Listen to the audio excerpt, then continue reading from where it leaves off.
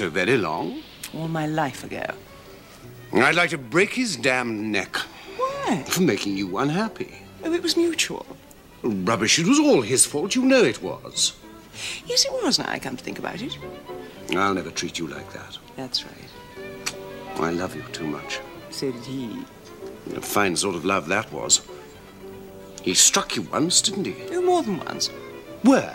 Several places. What a! I struck him, too. Once I broke four gramophone records over his head. It was very satisfying. You must have been driven to distraction. Yes, I was, but don't let's talk about it, please. After all, it's a dreary subject for our honeymoon night. He didn't know when he was well off. Look at the lights of that yacht reflected in the water. I wonder whose it is. We must bathe tomorrow. Yes, I want to get a nice sunburn. Mandy, Why, what's the matter? I hate sunburnt women. Why? It's so somehow, well, unsuitable. It's awfully suitable to me, darling. Of course, if you really want to. I'm absolutely determined. I've got masses of lovely oil to rub all over myself. But your skin's so beautiful as it is. So wait and see. When I've done a nice crisp brown, you'll fall in love with me all over again. I couldn't love you more than I do now. Oh, dear. I did so hope our honeymoon was going to be progressive. Where did you spend the last one? Victor. No, I want to know. St. Moritz. He was very attractive. I hate St. Moritz. Mm, so do I. Did he start quarreling with you right away? Within the first few days, I put it down to the high altitudes. And you loved him? Yes, Victor. You poor child. You must try not to be pompous, dear. Mandy. I don't believe I'm a bit what you think I am. How do you mean? I was never a poor child. Figure of speech, dear, that's all. I suffered a good deal and had my heart broken. It wasn't an innocent, girlish heart. It was jagged with sophistication. I've always been sophisticated, far too knowing. I caused many of my rows with Elyot. I irritated him because he knew I could see through him. I don't mind how much you see through me. Sweet. I'm going to make you happy. Are you? Hmm. Just by looking after you and seeing that you're all right. You know. No, I don't know. I believe that you love me quite differently from the way that you loved Elyot. Oh, do stop harping on Elyot. But it's true, though, isn't it? I love you much more calmly, if that's what you mean. More lastingly? I expect so. Do you remember when I first met you? Yes, distinctly. At Marion Vale's party. Yes. Wasn't it wonderful? Not really, dear. It was only redeemed from the completely commonplace by the fact of my having hiccups. I never noticed them. Love at first sight. Where did you first meet Elyot? Oh, to hell with Elyot. No, but I- I forbid you to mention his name again. I'm sick of the sound of it. Must be raving mad. Here we are on the first night of our honeymoon with the music playing and the moon coming up, and all you can do is talk about my first husband. It's downright sacrilegious. Well, don't be angry. It's Very annoying. Will you forgive me? Yes. Only don't do it again. I promise. I really must go and change. You haven't had your bath yet. Where shall we dine? Downstairs here or at the casino? Oh, the casino is more fun, I think. We can play boule afterwards. No, we can't, dear. Don't you like dear old boule? No, I hate dear old boule. We'll play a nice game of chemin de fer. Not at the big table. Maybe at the biggest table. You're not a terrible gambler, are you? Inveterate. Chance rules my life.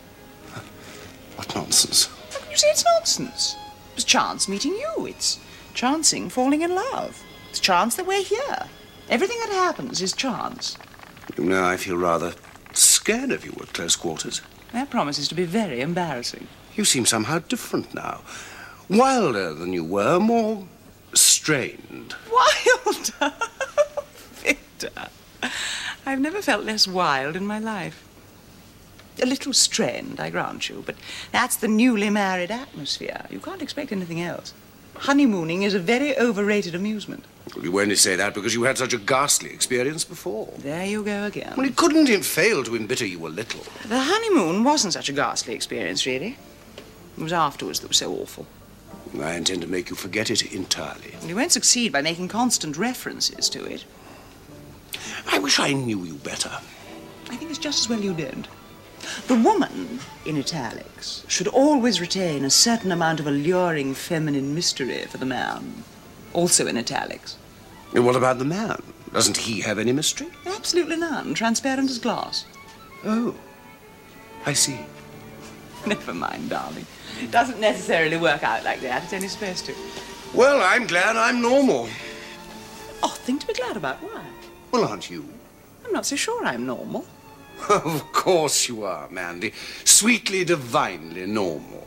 I don't have any peculiar cravings for Chinamen or old boots, if that's what you mean. Mandy. I think very few people are completely normal, really, deep down in their private lives. It all depends on a combination of circumstances. If all the various cosmic thingamies fuse at the same moment and the right spark is struck, there's no knowing what one mightn't do. That was the trouble with Elyot and me. We were like two violent acids bubbling about in a nasty little matrimonial bottle. I don't believe that you're nearly as complex as you think you are. Oh, I don't think I'm particularly complex, but I know I'm unreliable. You're frightening me horribly. In what way unreliable? So apt to see things the wrong way around. What sort of things? Morals. What one should do and what one shouldn't. Darling, you are sweet. Oh, thank you, Victor. That's most encouraging. you really must have your bath now. Come along. Kiss me.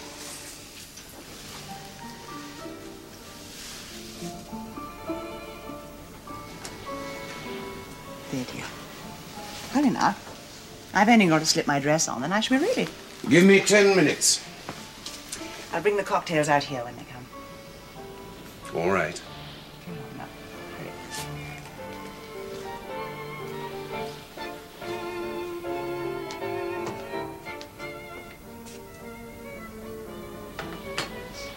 Sibyl, Yes? I brought the cocktails out here. Hurry up. I can't find my lipstick. Never mind. Send down to the kitchen for some cochineal. Don't be so silly. Hurry up.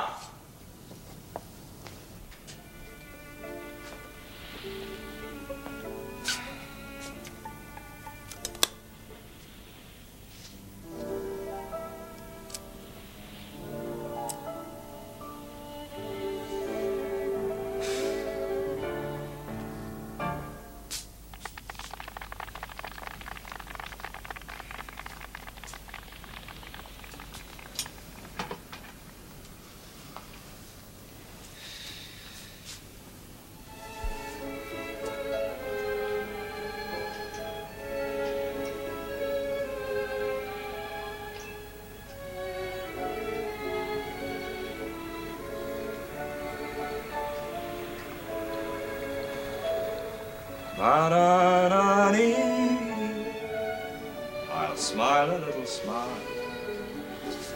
for a little while. We shall stand hand in hand.